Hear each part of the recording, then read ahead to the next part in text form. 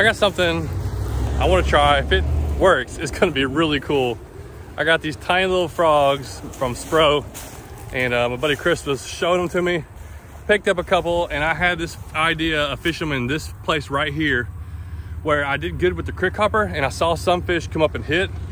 So uh, my goal is to try to catch one or two fish off one of these frogs. I'm gonna throw it on a spinning rod, medium heavy, six six rod, a little shorter, heavy spinning rod on braid. And um, I'm gonna go through here just a little ways and maybe try a couple other places. I just wanna see if I can get some bass to come up and hit this thing. I can toss it out there. I thought it'd be perfect for these creeks. Oh, it, it pops too. It's a little popper. Dude. It's kind of cool looking.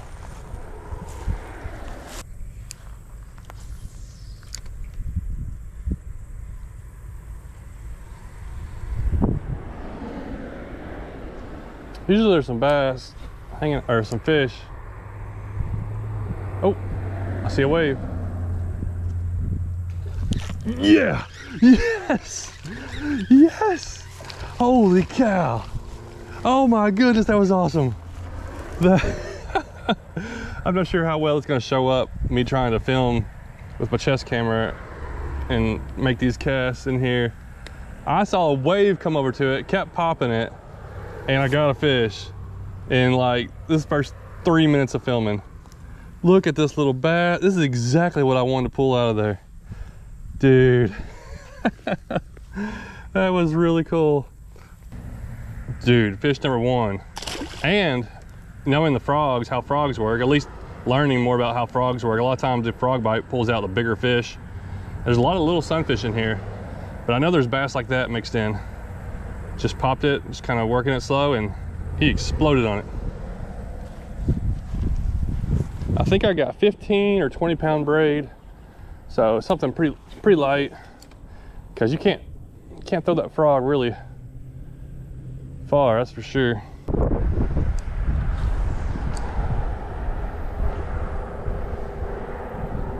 Is that a bass over there? I see something over there hanging out. It's a little windy here. Hopefully the wind ain't bothering us too much. Oh, did you see that? It was a little bass. He came up and hit it. He's like a little eight inch bass. He just came up and like just hit that thing. Oh, that was a red breast.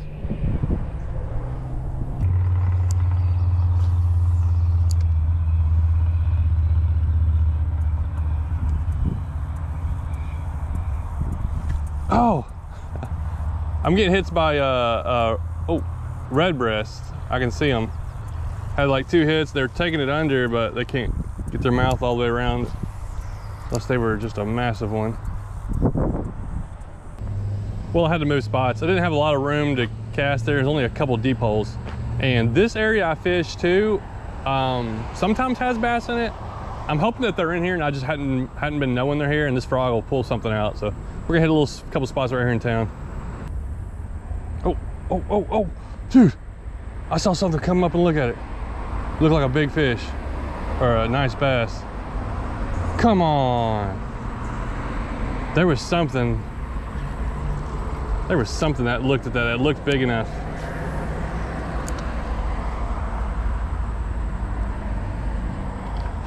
Yeah, oh, dude, I had a good hit. I have a feeling there's gonna be a lot of like little 10 inch bass hit at it. I thought I had that one. I was kind of in the weeds, but it was a good hit.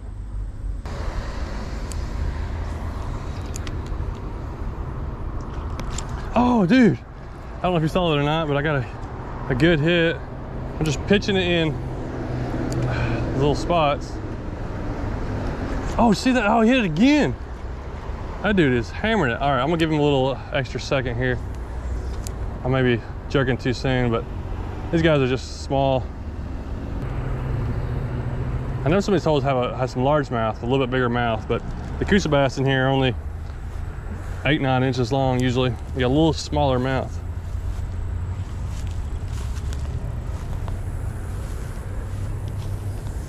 Oh, right there. Oh, oh, come on, there's something. I saw something swipe right at it.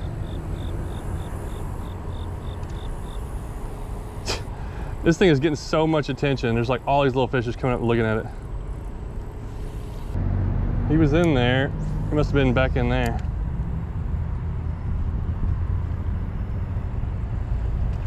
Oh no! I had that one. That was a good hit.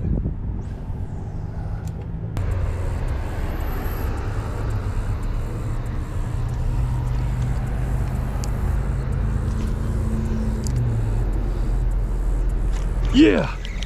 Yes. Oh, it's a little largemouth. Wow. I've gotten several hits, probably fish this big. he was right underneath, underneath that overhang right there. Oh, I ripped his lip a little bit. little frog, little frog bass. Frog fishing in the middle of town. Creek fishing. You creek fishing adventures? Yeah. What's up? Uh, thanks. I caught a caught two little fish on a still big frog. Really? Yeah. Awesome.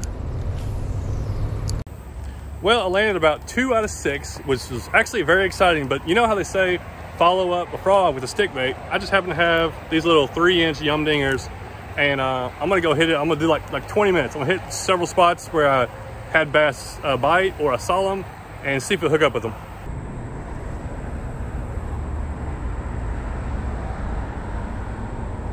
Got it. Oh no. There's definitely something hitting there, but still small and I'm in the trees.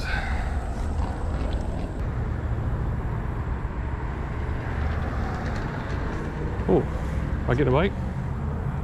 Yep. Ha! Little bitty Coosa bass. Dude, that may have been, I don't know if those were the ones hitting at my frog. Could have been.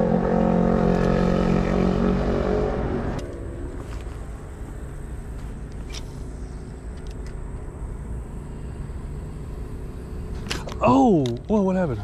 Did I get him? Oh, I got him. What's going on? I saw the fish hit. I didn't know my bell wasn't was messed up. Yes. I saw that fish come out and get it. Now that's probably one that hit the frog. Just uh, not quite big enough mouth to get that frog all the way in. Cool, good Coosa bass.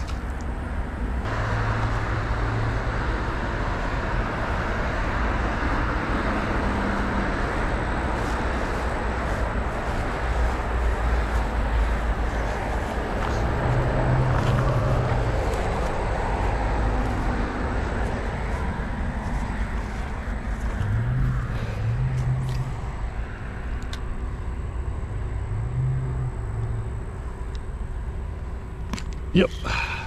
Another one. Oh, is he on there? Oh, it came off. Got me in this little weeds. How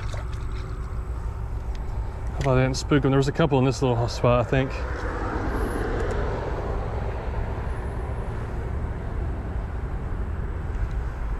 Oh, come on, take it. I got him? I got him. Nope. I think that was a green sunfish.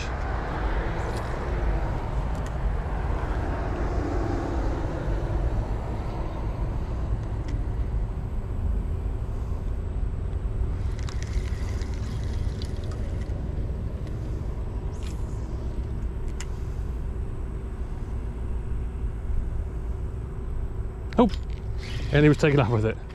Stay on there, stay on there. Hey! Now I know these guys were hitting at it too. I saw lots of different sunfish pecking at the frog.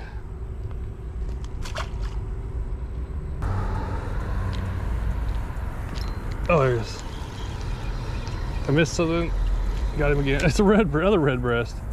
These guys, I keep thinking there's gonna be some bass coming out of here. I don't know what the bass are doing. I know there's, there's a few in there that are hiding in there somewhere. They're just being smart.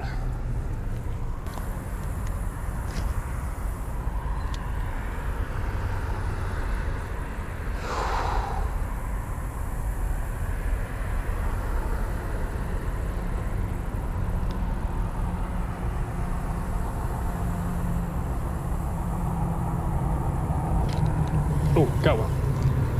Oh, he's way over there. Kept tapping at it. What is it? Oh, it's another Coosa bass. Well, where's the largemouth at? There you are hiding today. Maybe there's not as many as I thought are in here. Get you back in there, buddy. Well, it definitely was a hot evening for September the 1st. We are moving into the, getting closer to the fall time of year, still really hot. And uh, I've learned that, you know, frogs, frog bite gets better. I guess that's why, like when I fish creeks, the Crickhopper like kind of gets, they get more aggressive towards those kind of lures. I guess the same thing transitioning into like bass fishing, you know, on like lakes and stuff like that. But um, that little frog was really fun a little spro frog. And um, I, I am thinking of a couple other places I might have to try that.